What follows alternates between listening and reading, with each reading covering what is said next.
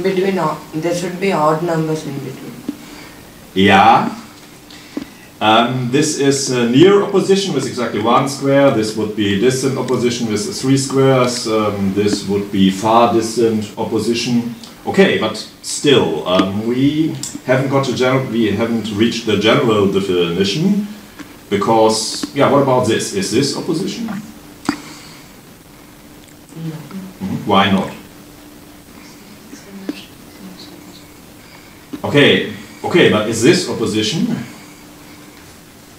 Yes, this is opposition. So it's not. Um, we haven't reached the general definition of opposition. It's yeah. Okay, if you don't know, then it's difficult to. If you don't know it, then it's uh, difficult to get it, of course. Typical mathematical thing. okay, yeah. Yeah, what also is in the number of squares is odd, and what also is the same, and here different?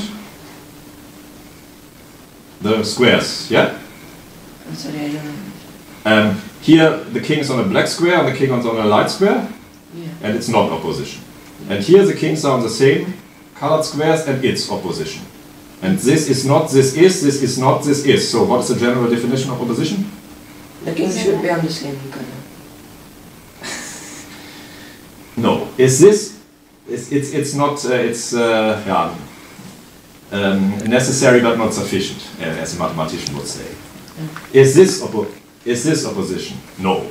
So, it's not uh, enough that the kings are on the same color. It must be that all corners of the rectangle must be on the same color. So this is opposition, this is opposition because all four corners are of the same color, and this is not because these squares are lumpy.